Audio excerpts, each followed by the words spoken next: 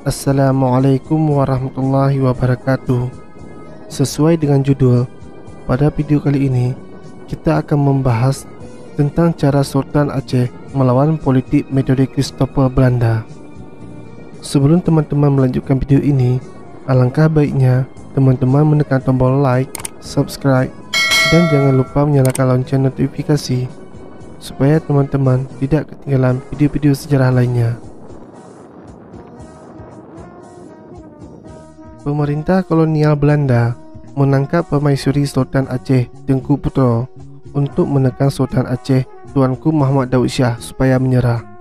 Namun perang tak pernah berakhir dengan penangkapan tersebut. Tentang penangkapan itu ditulis oleh A. Stuyvenberg dalam bukunya yang berjudul Hardcore Marcosi.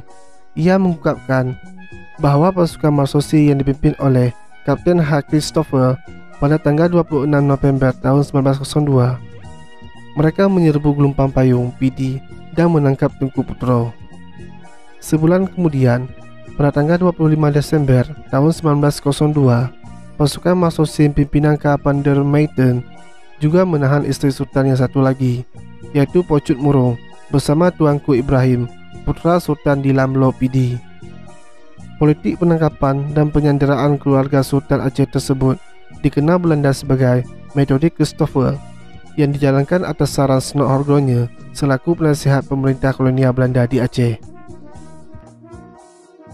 Akan tetapi, meski kedua isteri dan anaknya sudah ditawan oleh Belanda, Sultan Muhammad Daud Shah tidak pernah menyerah.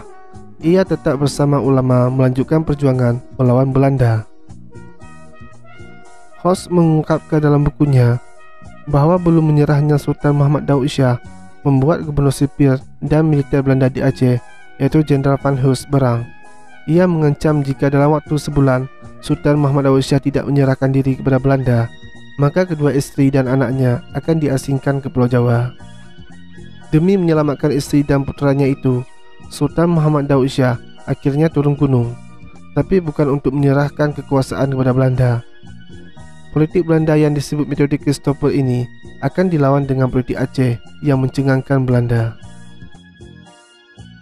Sultan Muhammad Daud Shah menuju Segli dengan menumpang kereta api. Ketika ia turun di stasiun kereta api Segli, beberapa penjabat Belanda sudah menunggunya untuk dibawa ke tempat digelarnya perdamaian yang telah disiapkan oleh Belanda. Tapi ada yang mencolok dari penampilan Sultan Muhammad Daud Shah saat itu. Ia mengenakan pakaian rakyat biasa bahkan tanpa mengenakan alas kaki. Melihat kejanggalan seperti itu, Belanda mencoba untuk mempermalukan Raja Aceh tersebut. Namun di hadapan Belanda, Sultan Muhammad Daud Shah mengatakan bahawa yang turun dari medan perang hari itu adalah Muhammad Daud Shah pribadi, bukan atas nama Sultan Aceh. Kerana urusan pemerintahan dan peperangan telah diserahkannya kepada ulama dan kabinet perang. Salah satu wazir dalam kabinet perang itu adalah Tengku Cik Ditiro, iaitu ulama besar Aceh pada masa itu. Belanda yang semula menduga bahawa perang akan berakhir ternyata tidak. Sesuatu yang tak pernah dipikirkan Belanda terjadi bila di daerah lain di luar Aceh, perang akan berakhir dengan ditawannya raja daerah itu. Lain dengan Aceh, Sultan Muhammad Daud Shah menolak menyerahkan kekuasaan kepada Belanda kekuasaannya telah diserahkan kepada ulama sebelum ia turun untuk menjemput keluarganya yang ditawan oleh Belanda. Begitu juga ketika dibawa menghadap gubernur sipil dan militer Belanda, yaitu Jenderal Van Hulst di Kutaraja. Sultan Muhammad Daud Shah menolak menandatangani dokumen yang disodorkan oleh Belanda kepadanya. Dokumen yang berisi pasal-pasal tentang penyerahan kekuasaan kepada Belanda. Akhirnya Belanda menahan Sultan Muhammad Daud Shah dan keluarganya di Kutaraja mereka dijadikan tawanan rumah dan harus melapor kepada Belanda jika berpergian ke luar kota raja. Perang Aceh memang tak pernah berhenti sampai di situ. Sultan Muhammad Daud Shah tetap menjalin hubungan secara rahsia dengan pemimpin pasukan gerilya dan panglima perang dari berbagai daerah. Ia mengirim sejumlah dana untuk kebutuhan perjuangan, bahkan melakukan diplomasi secara rahsia dengan kaisar Jepang yaitu Mitsuhito. Hal itu diketahui oleh Belanda setelah pada tanggal 6 Maret tahun 1907 pejuang Aceh melakukan serangan ke Kutaraja. Serangan itu tak pernah diduga karena Kutaraja merupakan pusat pemerintahan Belanda di Aceh. Pada tanggal 7 Juni, Bipak Belanda di Lok Sudu juga diserang oleh pejuang Aceh dari daerah Lepung. Kemudian dilanjutkan ke penyerangan Pekan Bada pada tanggal 16 Juni. Belanda kemudian membuat penyelidikan bagaimana daerah pusat pemerintahannya itu bisa diserang dari segala arah oleh pejuang Aceh. Kemudian diketahui bahwa Serangan itu dipimpin oleh Kecik Seman dan Pang Usuh. Mereka mendapat bantuan dana dan perbekalan dari Kecik Syekh, Panglimanya Adam dan Nyak Abih. Penyerangan pusat pemerintahan Belanda di Kutaraja itu direncanakan dengan sangat teratur, bahkan sampai ke tempat persembunyian dan rute pelarian setelah serangan dilakukan. Ujung dari penyelidikan itu, Belanda menyimpulkan bahawa setiap serangan yang dilakukan pejuang Aceh ke Kutaraja atas perencanaan dan sepengetahuan Sultan Muhammad Daud Shah. Kediaman Sultan Muhammad Daud Shah kemudian pun digeledah.